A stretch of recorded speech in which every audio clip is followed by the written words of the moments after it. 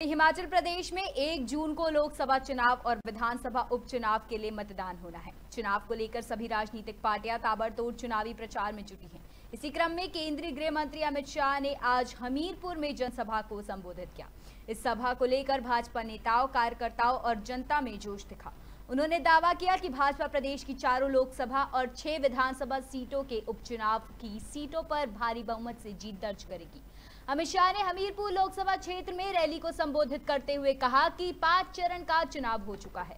आज छठे चरण का मतदान जारी है। पाँच चरण में मोदी 310 पार कर गए हैं। छठे और सातवें में 400 पार कराकर मोदी को फिर से प्रधानमंत्री बनाना है। साथ ही कहा कि सातवें चरण वालों पर 400 पार की ज़िम्मेदारी है।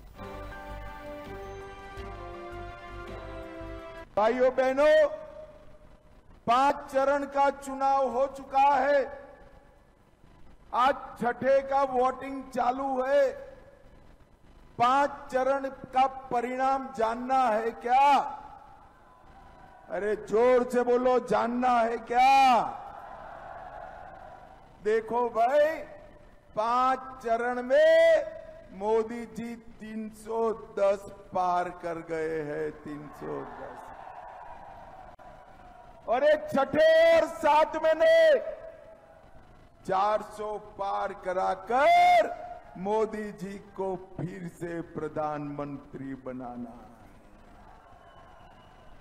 तो भाइयों, बहनों 400 पार की ज़िम्मेदारी किस पर है?